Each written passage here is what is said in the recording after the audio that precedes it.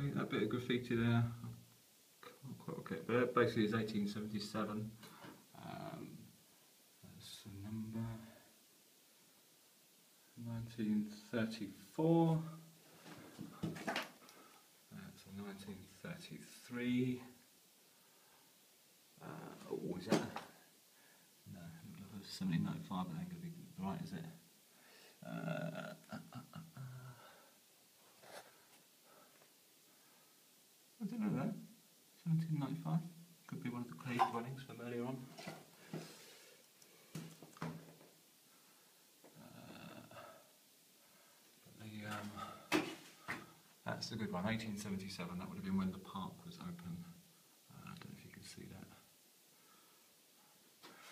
There's a little feature, of little sculpture in the wall. So maybe someone had a candle in there or something. But you can see it, it's just like a little two inch recess. Uh, it's a similar one there.